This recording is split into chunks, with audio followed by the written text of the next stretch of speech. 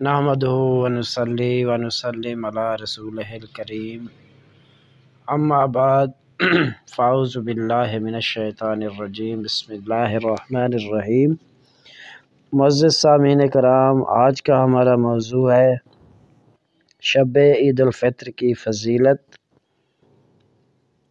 तो सूरत मायदा के अंदर अल्लाह ताला ने इरशाद फरमाया कि ईसा इबन अलैहिस्सलाम ने अर्ज़ किया आए अल्लाह आए हमारे रब हम पर आसमान से ख़वान नेमत नाजिल फरमा दे कि इसके उतरने का दिन हमारे लिए ईद हो जाए। हमारे अगलों के लिए भी और हमारे पिछलों के लिए भी और वो तेरी तरफ़ से निशानी हो और हमें रिज़्क अता कर और तू सबसे बेहतर रिज़्क देने वाला है। इसी तरह अल्लाह ताला ने सूरह हाका के अंदर इरशाद फरमाया कुलू वशरबू वाइन बिमा तुम फिल अयामिल खालिया कि उनसे कहा जाएगा खूब लुत्फ़अंदोज़ी के साथ खाओ पियो उनके बदले जो तुम गुज़श्ता आयाम में आगे भेज चुके थे इसी तरह कुरान के अलावा अदीस मुबारक में भी है कि हज़रत अबू हुरैरा रज़ी अल्लाह तहों से रिवायत है कि हजूर नबी करीम सल्लल्लाहु अलैहि ने फरमाया मेरी उम्मत को रमज़ान मुबारक में पाँच ऐसी खसूसियात अता की गई है जो इससे कबल किसी उम्मत को अता नहीं की गई। पहली यह है कि रोज़ेदार के मुँह की बू अल्लाह को कस्तूरी की खुशबू से भी ज़्यादा अच्छी लगती है। दूसरी ये कि फ़रिश्ते उनके लिए मगफ़रत तलब करते रहते हैं, यहाँ तक कि अफ्तार कर लें। तीसरी ये कि अल्लाह ताला हर रोज़ अपनी जन्नत को मज़ीद मुज़यन करता है। फिर फरमाता है कि अन करीब मेरे सालहीन बंदे दुनिया की थकावट और तकलीफ़ से मेरे घर और मेरे दार रहमत में पहुँच कर आराम हासिल करेंगे। चौथा ये कि इस महीने में सरकश शैतानों को जकड़ दिया जाता है। पांचवा ये कि जब रमज़ान की आखिरी रात होती है तो इन रोज़ादारों को बख्श दिया जाता है। एक साहबी ने अर्ज़ किया कि, या रसूल अल्लाह सल्लल्लाहु अलैहि वसल्लम, क्या ये आखिरी रात शब कदर है? तो आप ने फरमाया, नहीं, बल्कि जब मज़दूर अपने काम से फारग हो जाता है तो उसे मुकम्मल मजदूरी दी जाती है। इस हदीस को इमाम अहमद और बहकी ने रिवायत किया है। इसी तरह दूसरी हदीस मुबारक है। कि हज़रत जाबिर बिन अब्दुल्ला रज़ी अल्लाह तहुमा बयान करते हैं कि रसूलुल्लाह सल्लल्लाहु अलैहि वसल्लम ने फरमाया, मेरी उम्मत को माह रमज़ान में पाँच तोहफ़े मिले हैं, जो इससे पहले किसी नबी को नहीं मिले।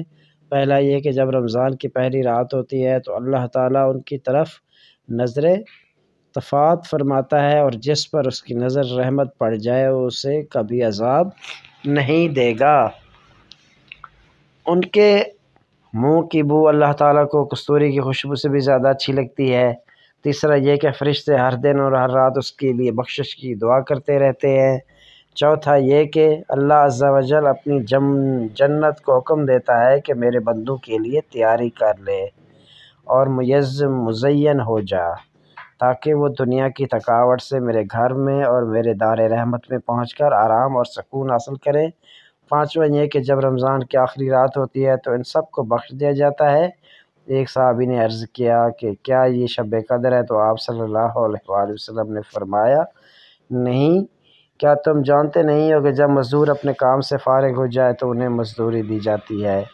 और इसी हदीस को इमाम बहकी ने रिवायत फरमाया है।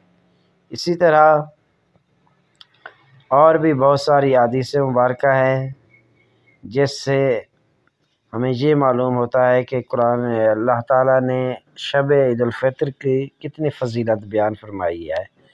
तो हज़रत अबादा बिन तसामत रज़ी अल्लाह तह से मरवी है कि उन्होंने अर्ज़ किया कि या रसूल अल्लाह हमें शब कदर के बारे में बताएँ। तो आप ने फरमाया, ये रात माह रमज़ान के आखिरी अशरे में होती है। इस रात को आखिरी अशरे में तलाश करो। बेशक ये रात ताक रातों, यानी इक्कीसवीं, तेईसवीं, पच्चीसवीं, सताईसवीं और उनतीसवीं में से कोई एक है। यह रमज़ान की आखिरी रात होती है जो बंदा इसमें ईमान और सवाब के इरादे से क़्याम करे, उसके अगले पिछले तमाम गुनाहों को बख्श दिया जाता है। इस हदीस को इमाम अहमद और तबरानी ने रिवायत किया है। इसी तरह हज़रत अबू सईद खुजरी रदी अल्लाह तह बयान करते हैं कि हजूर नबी करीम सल्लल्लाहु अलैहि वसल्लम ने फरमाया कि जब रमज़ान की पहली रात होती है तो आसमान के दरवाज़े खोल दिए जाते हैं और उनमें से कोई दरवाज़ा बंद नहीं किया जाता। यहाँ तक कि रमज़ान की आखिरी रात होती है और कोई शख्स ऐसा नहीं जो रमज़ान की किसी रात में नमाज़ अदा करता है, मगर अल्लाह ताला उसके लिए उसके हर सजदे के बदले में पंद्रह सौ नेकियाँ लिख देता है। इस हदीस को इमाम बहकी ने रिवायत फरमाया है। इसी तरह एक और हदीस मुबारक है कि हज़रत माज बिन जबल रज़ी अल्लाह तह बयान फरमाते हैं कि हजूर शाफ़ी नशूर नबी अकरम सल्लल्लाहु अलैहि वसल्लम ने फरमाया, जिसने पाँच रातों को ज़िंदा रखा, उसके लिए जन्नत वाजिब हो गई। और वो पाँच रातें कौन सी हैं? पाँच उसकी रातें ये हैं। आठवीं ज़िलहज्जा की शब, नौवीं ज़िलहज्जा की शब ईद अज़हा की रात ईद फ़ितर की रात, पंद्रहवें शबानमज़म की रात। ये कौल मुंजरी और इसको इमाम असहाबी ने भी रिवायत फरमाया है।